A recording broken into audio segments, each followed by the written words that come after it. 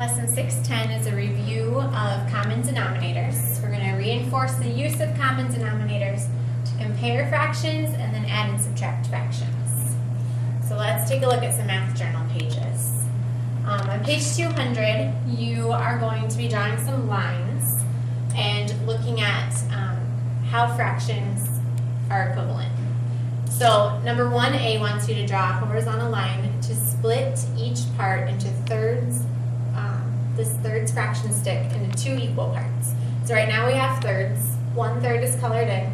We want to split it into two equal pieces by drawing a horizontal line. How many parts are there in all now? Well, now we have one, two, three, four, five, six parts.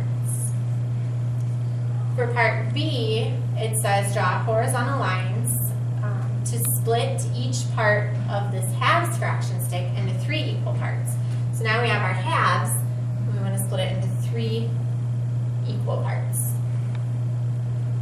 Those aren't quite equal, but they're pretty close. So how many are there altogether? One, two, three, four, five, six. In each of those we have six parts.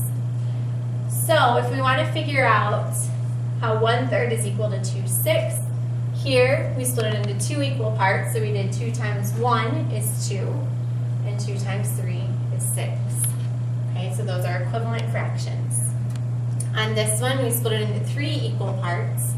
So half is the same as 3 sixths. We took 3 times 1 is 3, and 3 times 2 is 6. Remember, when you're finding equivalent fractions, if you multiply by 3 on the top, you have to do the same on the bottom. Okay, so that's one of the activities you'll be doing during this lesson to find equivalent fractions.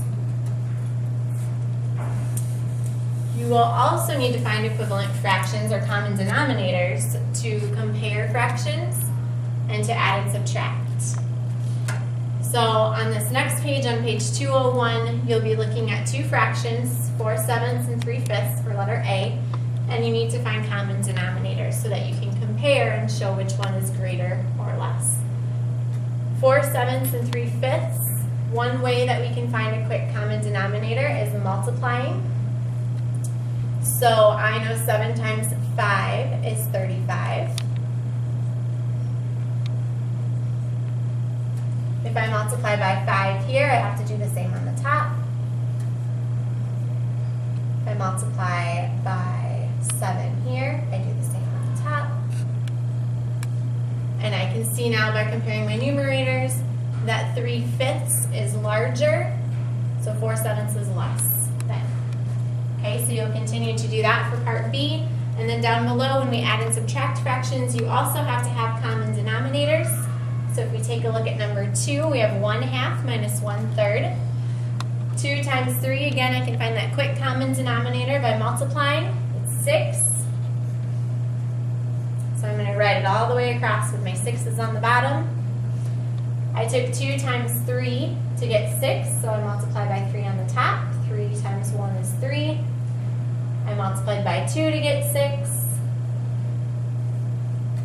So now I can um, subtract my numerators. 3 minus 2 is 1. So even when you're adding fractions, you'll need to do that as well. So you can use your fraction sticks, you can um, divide fraction sticks into equal parts, or you can multiply to get your quick